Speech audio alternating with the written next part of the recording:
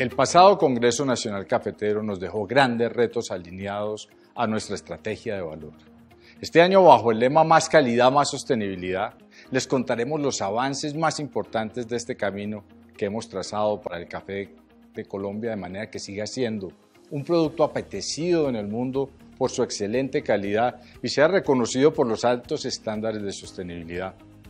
Es por esto que queremos presentarles los resultados del trabajo realizado por parte del equipo de la Federación Nacional de Cafeteros y que no hubiera sido posible sin el apoyo de todos ustedes. Iniciamos con la Comisión de Productividad, en la cual veremos los avances de recomendaciones asociadas a seguir fortaleciendo la estrategia de más agronomía, más productividad y más calidad. En esta comisión, además están las recomendaciones del tema ambiental, con las que hemos logrado avances para una mayor adaptabilidad en la variedad climática y el cuidado de los recursos naturales como el agua y el suelo y la biodiversidad. Continuamos con la Comisión de Comercialización, con más avances para seguir contribuyendo a la rentabilidad del caficultor a través del fortalecimiento de la calidad, la comercialización, la promoción del café de Colombia y su consumo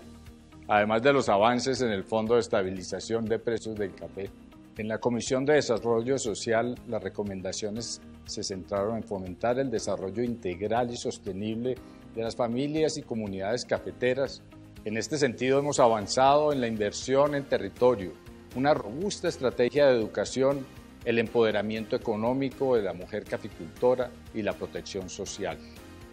En esta comisión también veremos los avances asociados a fortalecer una representatividad efectiva para asegurar la legitimidad de la federación mediante la participación juvenil y la capacitación del liderazgo, así como la gestión realizada a través de las alianzas nacionales e internacionales que han sido fundamentales para implementar proyectos con excelencia. Estas alianzas contribuyen a la rentabilidad del capicultor, a mejorar su bienestar, el de sus familias y comunidades. Por último, en la Comisión Administrativa y Financiera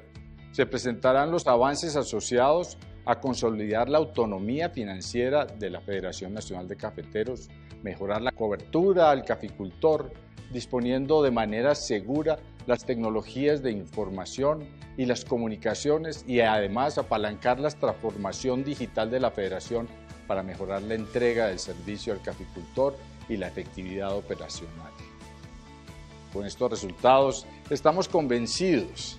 de que vamos por buen camino para lograr que en el 2027 nos consolidemos como un gremio próspero y efectivo, que seguirá trabajando para un caficultor empoderado,